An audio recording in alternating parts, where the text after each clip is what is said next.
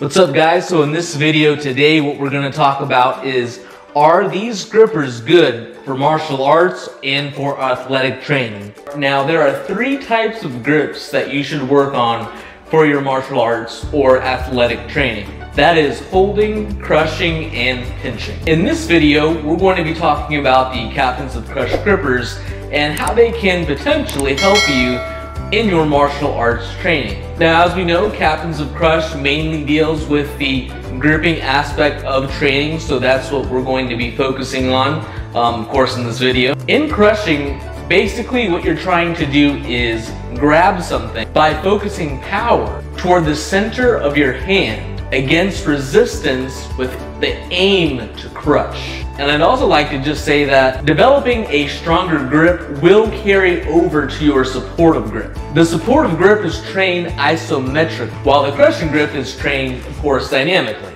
Now, I do want to mention there is a famous person out there that uh, does podcasts for the UFC who actually does implement these captains of crush grippers. It is claimed that Joe Rogan, one of the commentators of the UFC, actually does train with these. And he believes in training them because um, they're very good for building tendon strength. Now, obviously, anybody with two cents knows that when you grab somebody, it's more than just your grip. You use your body, your wrists, your elbows, etc. Even the great Bruce Lee advised in grip training.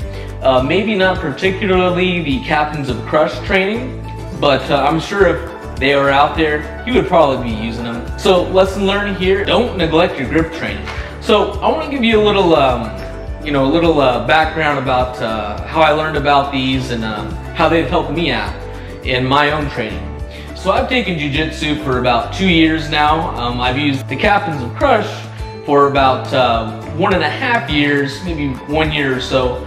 Um, I will say they have helped tremendously. I mean, when you're able to grab onto somebody, um, what you also want to be able to do though is focus on your holding.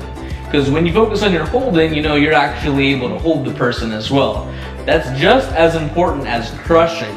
And that's where the captains of crush comes in. So what I'd say in my own personal opinion is yes. If you are a martial artist, if you are an athletic person, definitely use these grippers. Um, I mean, these are the gold standard of the grippers. You can't go wrong if you use these things here. All right, guys, so as we've stated, grippers are not a waste of time. They are very important for your strength and hand development. So don't let anybody tell you that grippers don't matter or they don't work. So go ahead and get them, feel how your body's doing, you know, never do too much, never strain yourself or anything like that. So grippers can help tremendously in athletic training. But again, don't take my word for it. Go ahead and try it out for yourself. Validate it for yourself.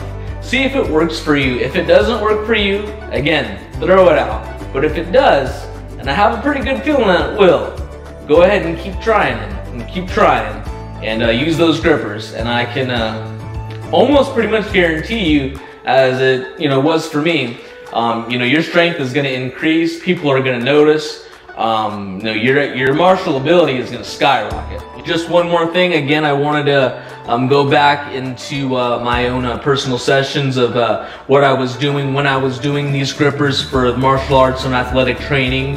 Um, when we were doing jujitsu, you know, I was actually able to hold on to that gi longer and harder, okay? And that's where that crushing power comes in.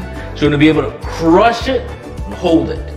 Now, holding is another strategy and technique that we'll go over but not in this particular video because I want to make sure that people understand out there that using the Captains of Crush grippers is indeed effective for your martial arts or athletic training. You know, bottom line is you got to be able to hold on to a gi or a shirt. And the best way to do that is to develop the crushing power. Lastly, I want to close out by uh, just mentioning a couple of things here. If you're training martial arts, if you're training any sort of uh, athletic um, uh, training. You're really doing yourself a disservice if you're neglecting to train your hands. You want to train your hands because the stronger your hands are, the stronger your body will become. And that's just a fact. We know that.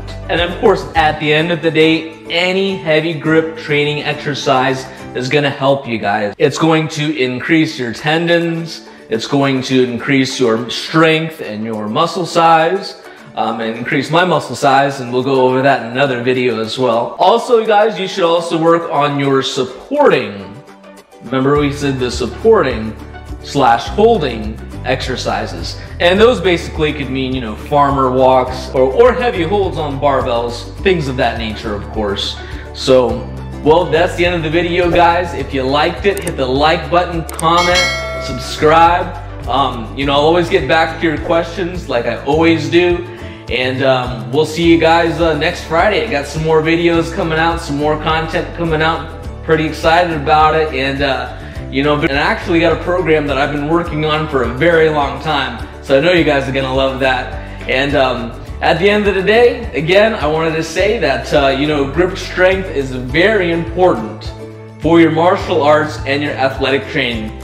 Anybody that tells you otherwise, you know, you can listen to them, but my advice would be is this.